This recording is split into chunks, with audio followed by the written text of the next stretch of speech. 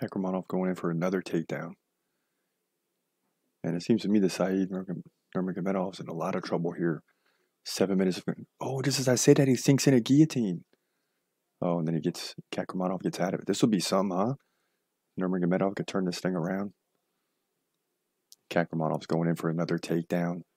A minute 20 left in round two. But Nurmagomedov's not letting go of it. Oh, he's got it locked in. Look at this. This would be crazy. And Kakhramonov taps. What? After dominating this fight, Said Nurmagomedov, in the blink of an eye, submits Kakhramonov. And I'm talking eight minutes of control for Kakhramonov. The whole entire fight, he's had five takedowns, controlled the fight on the ground the entire time, and out of nowhere, Said, who looks tired and unhappy, really, gets the finish.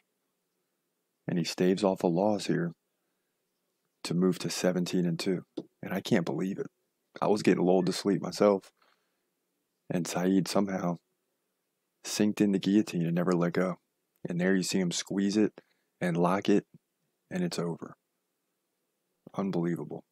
Nurmagomedov gets to win 17 and 2. Bantamweight division. This is hard one to judge at UFC Fight Night.